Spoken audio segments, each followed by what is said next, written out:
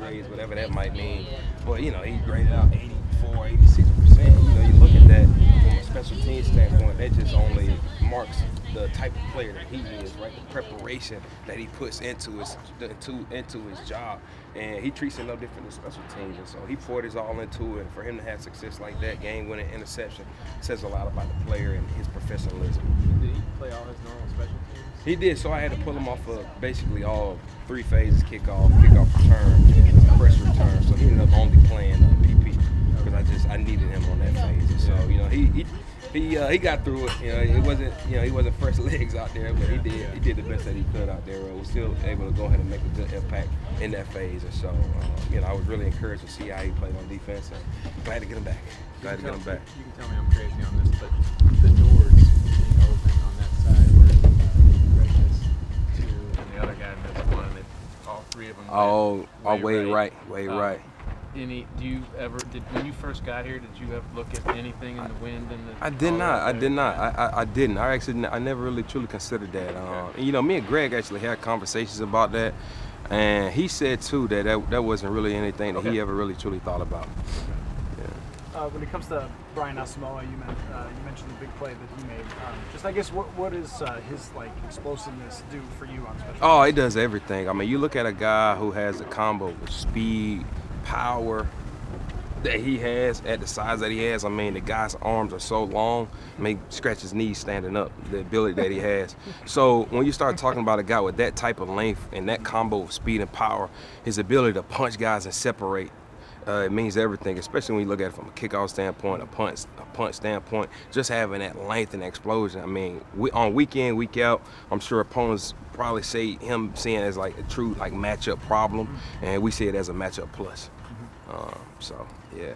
able to have two misses by the opponent this past week. Was there any think, residual from having blocked one the week before? I would or- definitely say so. Uh, you know, because P2 still was really still applying some good pressure off the edge right there. We got some really good interior rush, and so again, everything from a special teams operation standpoint, when those things start get sped sped, sped up, it really kind of throws off the complete operation. You kind of look at it from a pressure return standpoint, where Jack Fox came into the game averaging 57 yards a punt, uh, over a 49 net, and you know we were kind of on that delayed game, kind of spooked him a little bit. Uh, the following two punts was a 39 yarder and a 33 yarder. I mean, he ended up netting like 44, and his average ended up being like right around like 43, 46 or something like that. And so just the ability to apply that pressure really throws off the time clock in the operation where things start to get sped up and guys kind of get out of their rhythm. When it comes to making the decision on a long field goal, like uh, how does that operation work on a on a game day? Like, Uh, typically, usually we go into the game. Uh, I speak with our uh, game management coordinator, Ron Cordell, and he kind of asked me, like after we finished warm ups, after Greg's finished hitting, he asked me, you know, what do you think the line is today? Like, gotta have it in the half, in the game type situations. I let him know, and then we always talk about, okay, we're regular circumstances. What is the line? So I always kind of, you know, the line is always different based off of who we're playing, the quarterback that we're up against. You know, do we want to play the field position battle, and um, you know the weather conditions. And so typically we usually go about it that way. And then once we kind of pass the 50, it's either we're in four down territory, or you know we we, we get to a certain yard line. It's like okay, he uh, communicates, okay, hey, you in field goal range here because we've already pre-discussed, you know, what that line is. So that's kind of the Is, is the line a line no matter what? Like, or does it change? Like, he missed the 156. Right. Still gonna be the line. Right. Um, I would say yes because you know the thing is is that you you love to continue to have confidence in your kicker. Uh, you know, just because he goes out, miss a 56. You know, I, I don't know if I want to send him out there to go try for a 59, 60 yarder. But if he has the opportunity to get another shot at the 56 yarder, absolutely, let's send him back out there again. And you know, that's exactly what we did.